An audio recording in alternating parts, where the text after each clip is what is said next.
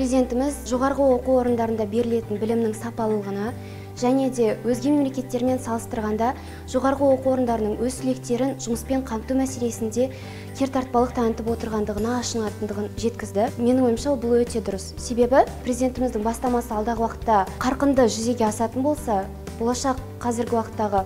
жұмысқа оқу орындарына түсе алмай жатқан студенттеріміздің барлығы жақсы оқып өздеріне қажетті армандаған мамандықтарына түсіп ары қарай да жолын жалғастырады еліміздің болашақта көркеюіне экономикамыздың өрлеуіне өзінің үлесін қосады егер де университеттеріміз жоғарғы оқу орындарымыз өздерінің түлектеріне қажетті